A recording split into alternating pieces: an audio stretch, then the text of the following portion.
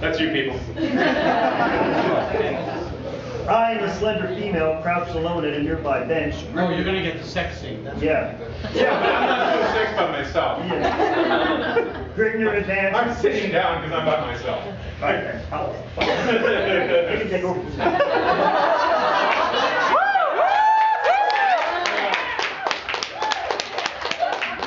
I'm Grigger, he's evil. She's evil. You know, I really gotta go to bed. Oh, it's easy.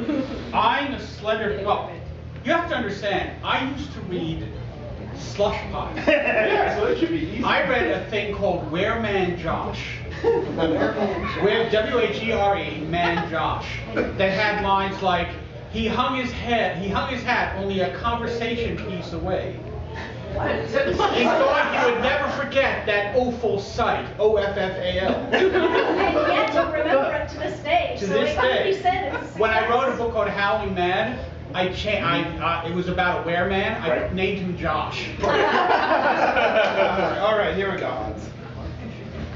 How how much should I hand this up? Yeah. Damn it. Damn it. I, the slender female, crouched alone at a nearby bench.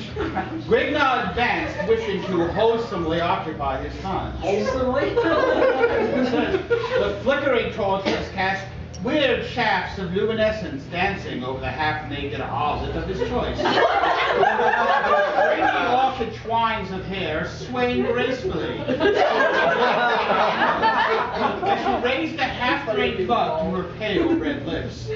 Glancing upward, the alluring complexion noted the stalwart giant as he rapidly approached. A faint glimmer sparked from the pair of deep blue ovals of the amorous female. She motioned toward Grigna, to join her. The barbarian seated himself at the wench's side, exposing his body, naked save for a loin cloth brandishing a long steel broadsword, a spiral battle helmet, and a thick leather sandals to her unobstructed view. Baby, want my broadsword? need to occupy your time, barbarian? Question the female. Question marks at the end of Yeah, it it. says question the female, there's a Yeah, question mark. yeah. Only if something worth offering is within my reach, stated Grignr. No, you know what? I'm gonna do my corporate control. Only if something worth offering. Stated Grignr as his hands crept to embrace the tempting female, who welcomed with open willingness. Where do you come, barbarian, and by what are you called? gasped the compliant witch, as Grignr smothered her lips with a blazing touch of his Hands up. mouth. Nah, blah, blah, blah. His flaming mouth? Seriously? The gross titan ignored the queries of the inquisitive female, pulling her towards him and crushing her sagging throat. Without struggle, he gave in. Her soft arms around the harshly bronze hide of Grignr corded shoulder blades as his calloused hands caressed her firm, protruding bust. You better off well, witch, admitted Grignr as he reached for the vessel of potent wine his charge had been quaffing. A flying foot caught the mug Grignr had taken hold of, sending its blood-red contents sloshing over a flickering crescent, leashing tongues of bright orange flame to the foot-trodden floor. Remove yourself, Sarah. The wench belongs to me. Blabbered a drunken soldier, too far consumed by the influences of his virile brood to take note of the superior size of his adversary. Grignr lifted and bounded from the startled female, his face lit up to an ashen red ferocity, and eyes locked in a Syrian feral blaze toward the slain soldier. To hell with you, braggart! bellowed the angered courtier as he hefted his finely honed broadsword. What stabbing soldier clumsily reached towards the pommel of his dangling sword. But before his hands ever touched the, to- the oaken hilt, a silver flash was slicing the heavy air. The fuse of the savage's lashing right arm bulged from the glistening bronze hide as his blade bit deeply into the soldier's neck, lopping off the confused head of the senseless tormentor. Loping, not lopping. No, it's locked. It's No, it's- lopping. L-O-P-I-N-G, lopping. Loping. No, lopping, Lopping has two L-O-P-I-N-G. P's. Loping is two P's. It has two Lopping. P's. Loping. Uh, uh, L-O-P-I-N-G is pronounced out, lopping. Loping. Loping? Okay, I thought it was lopping. Okay, well, that's one. With a nauseating thud, the severed oval toppled to the floor as the segregated torso of Rickner's bovine antagonist. Really?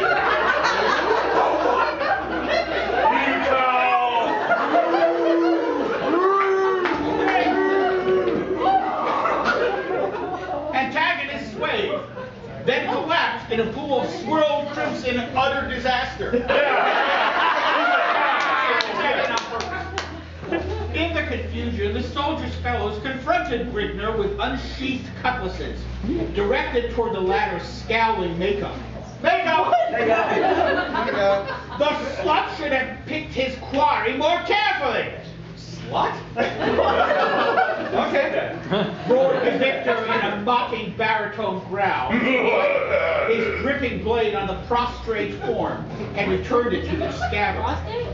Prostrate, yes. The fool should have shown more prudence, however. You shall rue your actions while rotting in the pits, stated one of the sprawled soldier's comrades. Gregor's hand began to remove his blade from its leather housing, but retarded the motion in face of the blades waving before his face. Nice face. Dismiss your hand from the hilt, barbarian, or you shall find a foot of steel sheathed in your gizzard. Gregor wins his position. I'm sorry? I said, I know we have chickens. Oh, okay. Yeah. Grimnar weighed his op- his position, observing his plight. Whereupon, with a hyphen, of course, because you always spell whereupon with a hyphen, he took the soldier's advice as the only logical choice. Good choice, Rigmor is totally logical. Right. to attempt to hack his way from his present predicament could only warrant certain death. He was of no mind to bring upon his own demise if an alternate path presented itself. The will to necessitate his life forced him to yield to the superior force in hopes of a moment of carlessness. carlessness. Right? C-A-R-L-E-S-S-N-E-S-S. Hey, I made my payment, it's just in the mail. carlessness later upon the part of his captors in which he could effect a more plausible means of escape. So You may steady your arms. I will go without these Your decision is a wise one, yet perhaps you would have been better off had you forced death. The soldier's mouth wrinkled to a sadistic grin of knowing mirth. As he brought in his prisoner on with his sword point. After an indiscriminate period of marching through slinking alleyways and dim moonlighted streets, the procession confronted a massive seraglio. Seraglio, is that how it's pronounced? S-E-R-A-G-L-I-O. He got, ser- that's how you spell it. He got seraglio right. The palace area, I, I really can't believe that. You could have missed, okay, fine. The palace area, the palace area was surrounded by an iron grating with a lush garden upon all sides. The group was admitted through the gilded gateway and Rigner was led along, one word, E L-E-D-A-L-O-N-G, was led along I'm led a stone pathway bordered by plush vegetation. That's going to be spelled the same way, as- it's going to be said the same way as he as it's spelled correctly. He spelled vegetation, V-E-G-I-T-A-T-I-O-N. Lustfully enhanced by the moon's shimmering rays. Upon reaching the palace, the group was granted entrance.